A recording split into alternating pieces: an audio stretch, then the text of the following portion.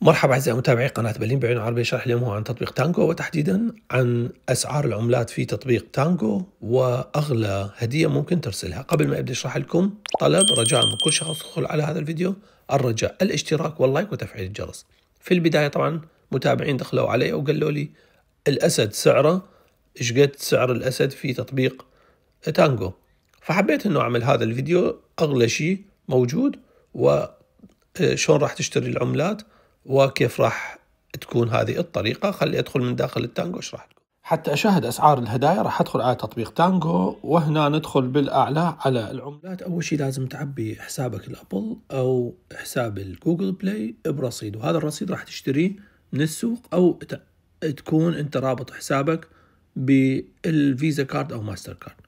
التعبئة راح تكون 300 ألف 1200 كل وحدة السعر أسفلها. طبعا هذا سعر يورو يعني مثلا هنا 32 سنت تقريبا دولارين ونص وهنا بحدود 6 دولارات وهنا 9 دولارات وهنا بحدود 12 ونص دولار وهنا 18 ونص دولار وهنا 3000 بسعر تقريبا 24 دولار.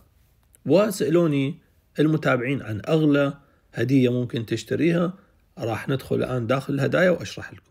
حتى نشاهد أغلى هدية ممكن ترسلها مثل ما تشاهدون. أنا بحثت. طبعا من تدخل لايف راح تظهر الهدايا راح تظهر عدة يعني أسعار بالعملات لكن أغلى شيء أنا وجدته هو الأسد. أسد تقدر ترسله تقريبا بحدود ال 50 دولار. هذا أغلى شيء تقدر ترسله.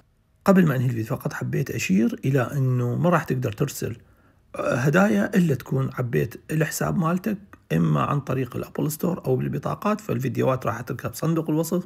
وإذا كان عندك iPhone 15 أو iPhone 16 ضروري تشاهد هذا الفيديو حتى تحافظ على البطارية. تحياتي لكم لا تنسوني بالاشتراك و like. مع السلامة.